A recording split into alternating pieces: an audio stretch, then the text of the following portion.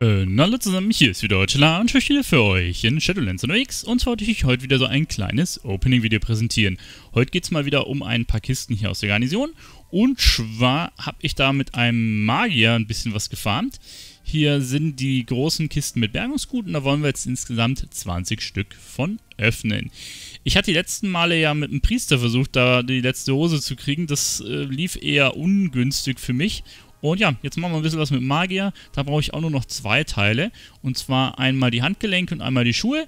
Und ja, vielleicht haben wir ein bisschen Glück. Schuhe hatten wir, glaube ich, die letzten Male beim Priester einige rausgekriegt. Vielleicht, äh, ja, läuft es ja hier auch. So, fangen wir mal an. Machen wir die auf. Äh, bis jetzt haben wir Garnisonsressourcen gekriegt. Das ist jetzt eher nicht so nice.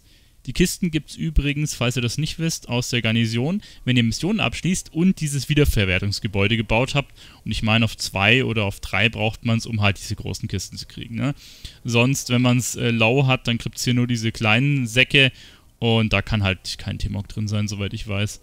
So, jetzt haben wir das erste T-Mog-Item gekriegt, einen Kopf, den haben wir aber schon, leider. Schade, schade. Vielleicht gibt es ja noch was, ne? Also die Handgelenke und Schuhe wären halt gut. Sonst gibt es halt hier hauptsächlich diese Materialien aus ähm, Warlords of Draenor. Und was es halt auch ab und an noch gibt, sind diese Rüstungs- und Waffen-Upgrade-Token. Die kann man halt bei den Anhängern einsetzen, um die dementsprechend zu verstärken. Ob man jetzt mehr äh, Kisten oder mehr große kriegt, wenn man quasi stärkere Missionen spielt, wo man die Rüstung braucht, da bin ich immer noch ein bisschen überlegen, ob das so ist, aber anscheinend äh, ist es relativ wurscht, ne? Muss hauptsächlich die Missionen schaffen.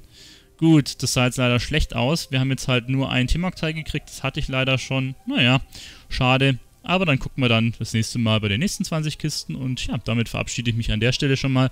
Eutila, bis zum nächsten Mal. Ciao.